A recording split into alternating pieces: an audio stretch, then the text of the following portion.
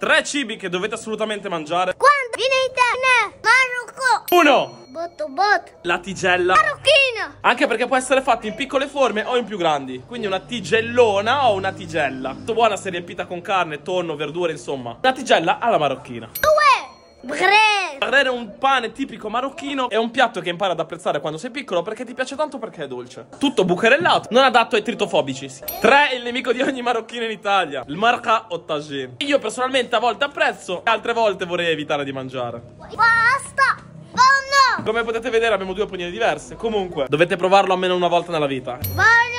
Ah, Gibecchia. È un piatto tipico marocchino ed ho scoperto che è molto simile a un piatto anche italiano. Le cartellette mi pare si chiamano. Poi però rimane un piatto tipico marocchino molto molto molto buono. Dolci come me. Baby. Masha. Le. Nomino. Ogni occasione è buona per rimorchiare.